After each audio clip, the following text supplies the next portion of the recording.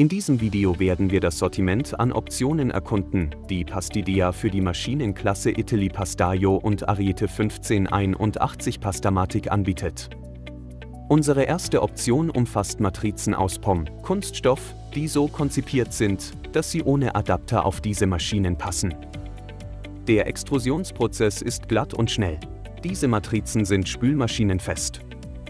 Die zweite Option ist ein patentiertes, innovatives System von Pastidea, das darauf ausgelegt ist, die Pastextrusion kostengünstiger zu gestalten und die Komponenten leichter zu reinigen.